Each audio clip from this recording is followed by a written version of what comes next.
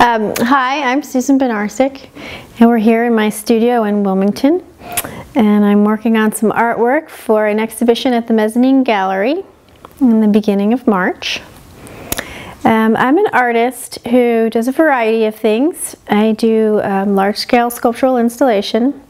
I also do mixed media work on paper, more like assemblage or collage. I use materials that I find in the, in the natural world. I use found materials. And if I'm not in my studio working, I'm generally out in the garden, so a lot of my tools and techniques come from um, a shared sensibility with a gardener.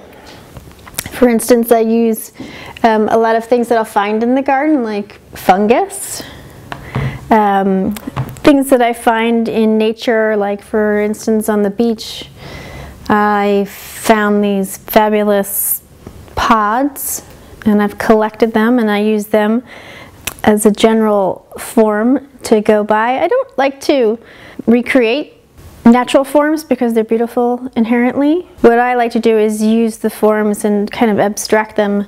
I've developed my own vocabulary. I think that shows up in repetition in my work on paper and in my sculptural work.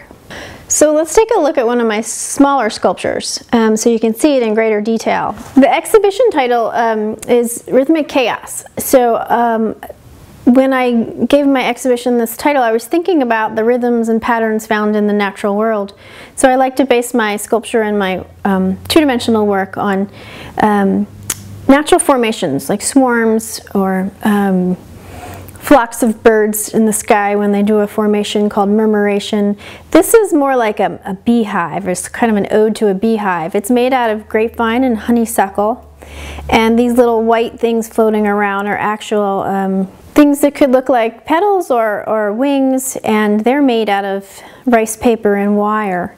So all my work is very kind of obsessive and, and very detailed and um, much like the natural world, I kind of just work and work and work at it until I find a resolution. I don't have a concrete plan in mind.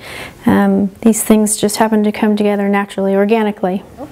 And I hope you will come to the exhibition at the Mezzanine Gallery on Friday, March 4th.